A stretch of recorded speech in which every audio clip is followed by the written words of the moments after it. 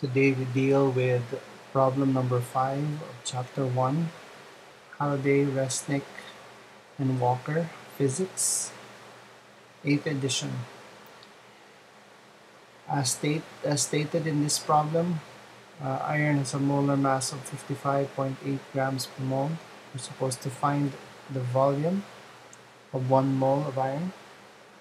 Um, then we determine the volume of one iron atom and calculate or rather estimate the distance between atoms in the solid by taking the cube root of that.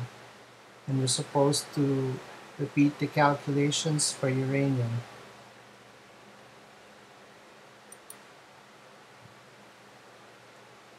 So to find the molar volume, we consider the molar mass and the density of iron and we take the ratio of such and we get 7.1 meter cube. The atomic volume is merely the ratio of the molar volume divided by Avogadro's number. Thus we get 1.18 times 10 to the minus 3 uh, meter, uh, well this is supposed to be meter cube per atom. Sorry about that.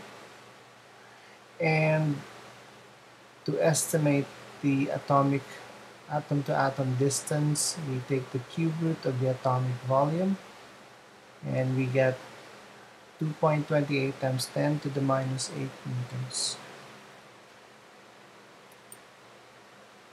For uranium, considering a molar mass of 238 grams and a density of 18.7 grams per meter cube, we get a molar volume of 12.7 meter cube and an atomic volume of 2.11 times 10 to the minus 23 meter cube.